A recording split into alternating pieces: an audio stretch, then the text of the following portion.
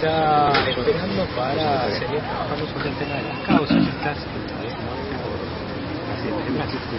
Sí, eh, eh, en el día de mañana a las 11 eh, de la mañana estamos citados en una audiencia pública en el juzgado de primera instancia en lo civil de segunda nominación a cargo del doctor Romero por una demanda por daño moral, por, daño, por perjuicio moral, que se siente afectado Varela por la suma de 100 mil pesos.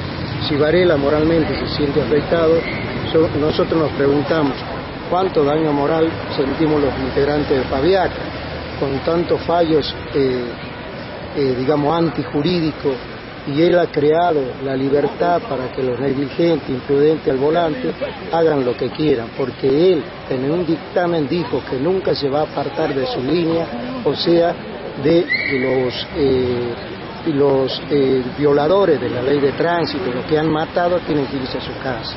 Entonces, si él se siente afectado moralmente, ¿cómo nos sentimos nosotros?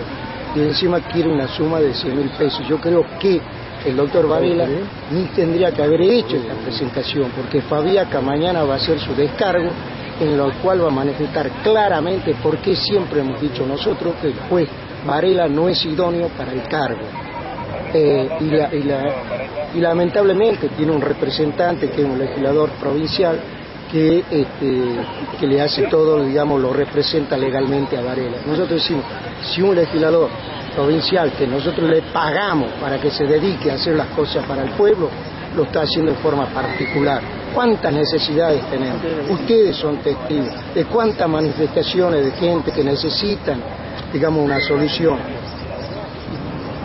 Nosotros nos decimos, este legislador no presentó nunca un proyecto para el bienestar de los catamarqueños, pero sí lo presenta para el bienestar de un particular. Entonces, todas estas cosas, pero le vuelvo a reiterar, mañana a las 11 de la mañana, en el juzgado de segunda nominación, Fabiaca fehacientemente va a decir por qué el doctor Varela no es idóneo para cubrir el cargo en el cual ostenta en el día, hasta el día de la fecha.